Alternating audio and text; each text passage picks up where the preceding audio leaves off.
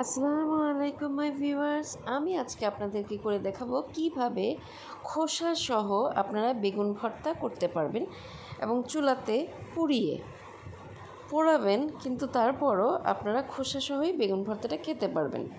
সেটা হচ্ছে, আমি প্রথমে বেগুনটাকে কাঁটা চামচ দিয়ে খুব ভালোভাবে কেচে এটাকে সরিষার তেল মাখিয়ে খুব অল্প আছে চুলাতে বসিয়ে রেখেছি এবং একটি স্প্যাচুলা দিয়ে এটাকে বারবার চেপে দিয়েছি। এতে করে হয়েছে কি, বেগুনের ভেতরের যে পানিটা ছিল, এটা বের হয়ে এসছে এবং উপরের অংশটা কিন্তু পুড়ে যায়নি। পানিটা বের হয়ে আসার কারণে আর ভেতরের অংশটা সেদ্ধ হয়ে গেছে।